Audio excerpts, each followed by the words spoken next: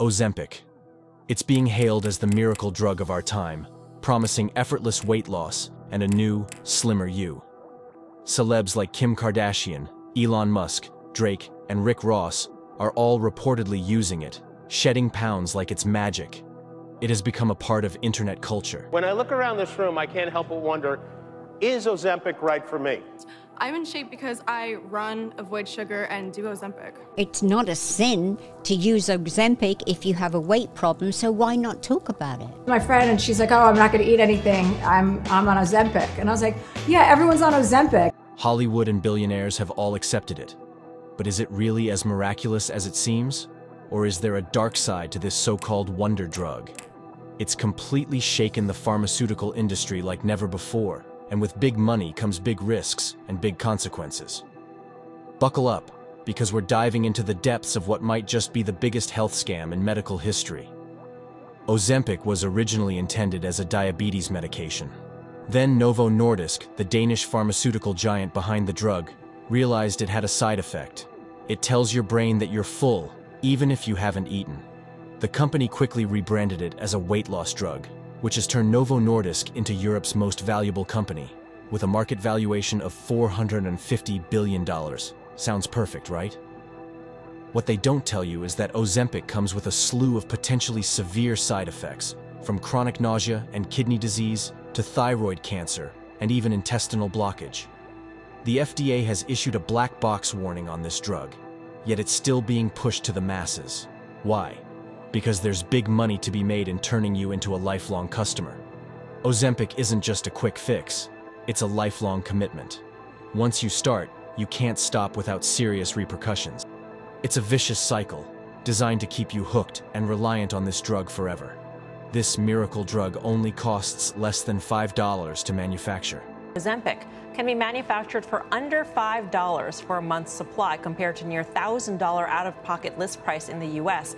There is no rational reason other than greed for Novo Nordisk to charge Americans nearly $1,000 a month for Ozempic. In Germany, you can get the drug for $60, but here in America, it is being sold for over $1,000. So, how did they reach this price point of over $1,000 per shot? When Novo Nordisk released Ozempic, specifically targeting obesity, the demand was immediate and immense. By 2023, sales of Ozempic rose by 58% within just six months. Novo Nordisk reported overall net sales of $15.1 billion in the first half of 2023 alone. The company's stock price reflects this success, having more than quadrupled in the past five years. Novo Nordisk's market valuation has surpassed Denmark's entire economy. But Novo Nordisk isn't alone in this lucrative market. Eli Lilly, another pharmaceutical heavyweight, has introduced Zepbound, a competing drug. These drugs have not only transformed Novo Nordisk, but have also shifted how the pharmaceutical industry approaches chronic diseases like obesity and diabetes. The shift towards treating obesity as a medical condition, rather than a lifestyle choice, has opened new revenue streams and altered healthcare dynamics. Pharmaceutical companies play a significant role in shaping public perceptions of health and disease. The promotion of drugs like Ozempic as quick fixes for obesity reflects a broader trend in the pharmaceutical industry. By emphasizing the effectiveness of their products, companies can create a sense of urgency and dependency among consumers, driving demand and increasing profits. The weight loss industry is a multi-billion dollar behemoth, and drugs like Ozempic are its latest cash cows. The marketing of Ozempic taps into a powerful narrative that obesity is beyond individual control and can only be managed with medical intervention. This idea has profound implications. By framing obesity as a disease rather than a consequence of lifestyle choices, pharmaceutical companies can market their solutions as essential treatments rather than optional aids. Could be something completely different than just a drug, but something you could use uh, as you use makeup. Maybe people simply would forget to do exercise and to to eat healthy because we simply take a drug, only scratching the surface. And that's a little bit scary, in fact. High profile endorsements and widespread media coverage create a perception of legitimacy and necessity. When celebrities and influencers openly discuss their use of Ozempic, it normalizes the medication and makes it seem like a reasonable, even desirable option for anyone struggling with their weight. This societal shift can make individuals feel that they need to take Ozempic to keep up with the latest health trends or to achieve a certain standard of beauty. Yet, as we've seen, the consequences of this widespread adoption can be dire. The side effects alone should give anyone pause. From nausea and stomach pain to more severe conditions like pancreatitis and gastroparesis, the list of potential complications is long and concerning. And let's not forget the risk of developing thyroid cancer or experiencing kidney failure. These aren't just minor inconveniences. They're serious health risks that can have long-lasting impacts. Despite these dangers, the push to use Ozempic continues unabated. Why? Because there's a lot of money to be made. By convincing the public that their weight issues are beyond their control and that medication is the only answer, pharmaceutical companies are tapping into a vast and profitable market. It's a business model that prioritizes profit over people, health, and well-being. Think about the financial burden on individuals who become dependent on such medications.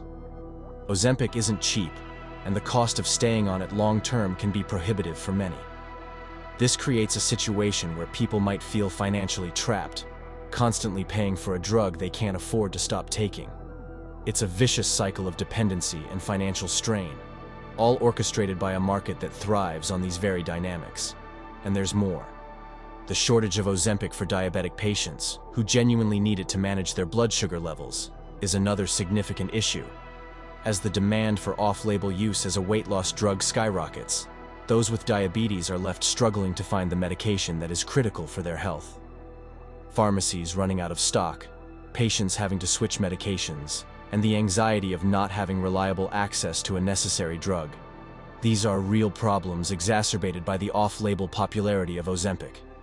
Is it worth sacrificing long-term health for short-term gains? The answer seems clear when considering the mounting evidence against Ozempic. When medications like Ozempic are promoted as the solution to obesity, it diverts attention from addressing the root causes of weight gain, such as poor diet, lack of exercise, and hormonal imbalances.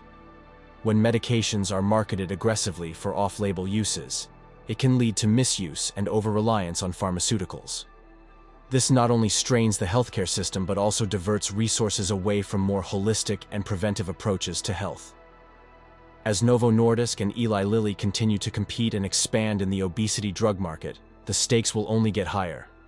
Whether Ozempic will be remembered as a groundbreaking innovation or a cautionary tale remains to be seen. But one thing is certain. The conversation about weight loss, health, and the role of Big Pharma is far from over.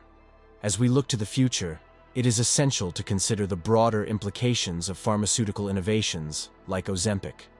The debate over weight loss, health, and the role of Big Pharma will continue to shape our approach to wellness, influencing public health policy, medical research, and individual health choices for years to come.